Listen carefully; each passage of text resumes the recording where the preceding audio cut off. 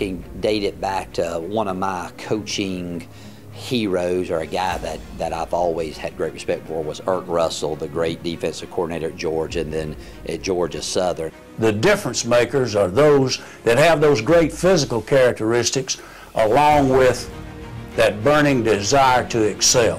When I was in college, um, I read his book, and um, that was a saying that um, I think he said it, it was kind of worded that he used to tell the team that after the games, even when he was an assistant coach. So um, that's kind of who I wanted to be like a little bit. So after Valdosta, after the first game, I gave that speech, and we were the Blazers, and it kind of stuck. And then we got on a winning streak, so I kept saying it. And then, so everywhere I've been, I just have to change the mascot.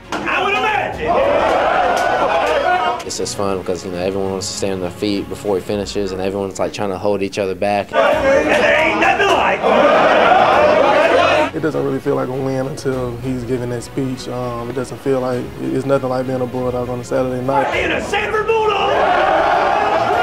On a Saturday night. When he finally says it, you know, we just go wild, and uh, it, like I say, I mean, the biggest thing is it means we won the ball game, so that's always a good thing. You're a big winner. That's why I like so much. That's why I like being a part of this team so much because there's so much energy. He brings so much energy, and it just electrifies us. So, you know, he he lets us know, he lets it be known that it's okay to, you know, it's okay to get hyped.